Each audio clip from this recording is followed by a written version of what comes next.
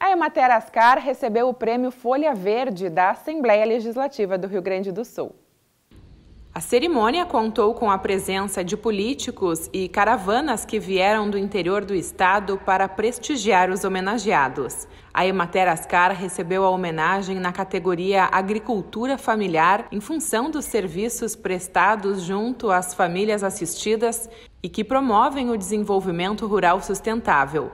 Esse é o oitavo troféu em que a instituição é homenageada. É muito importante saber que a nossa instituição, que está presente no meio rural, nas famílias dos agricultores familiares, é reconhecida dessa forma.